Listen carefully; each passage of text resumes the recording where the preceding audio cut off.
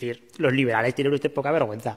Está diciendo que eh, la gente que puede recibir una ayuda por el pago de una hipoteca, que estamos hablando de la garantía de un derecho fundamental constitucional, que es la vivienda, primera, primer olvido que tienen ustedes los liberales, que por cobrar una subvención, después si el mercado baja, la tiene que devolver. Y los 60.000 millones de euros de la banca, ¿usted le va a pedir algún momento que los devuelvan? Es fundamental y prioritario. Es un crédito a la banca que va a pagar la propia banca y debemos celebrar que nuestros socios europeos nos hayan ayudado. Duda, que eso lo hemos pagado con dinero público todos, ¿eh? Después de que estuvieron especulando finales de los 90, principios de los 2000, vulnerando el derecho a la vivienda, desahuciando a la gente, les pagamos 60.000 euros, 60.000 millones de euros, no lo devuelven y usted no les dice nada. Eh, ¿Cuánto nos va a costar bancario de España?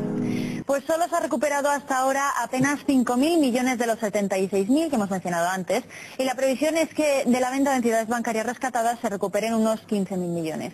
Y a una persona que le puedan dar, que le puedan dar, que no se la van a dar, una ayuda, luego que la tiene que devolver. Hombre, la balanza usted la tienen un poco desequilibrada, ¿eh?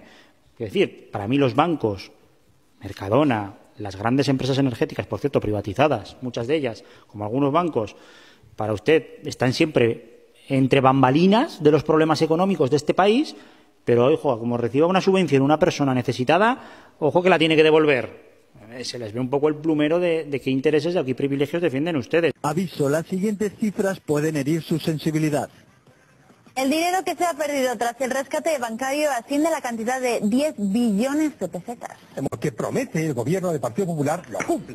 Que no cueste un euro al contribuyente.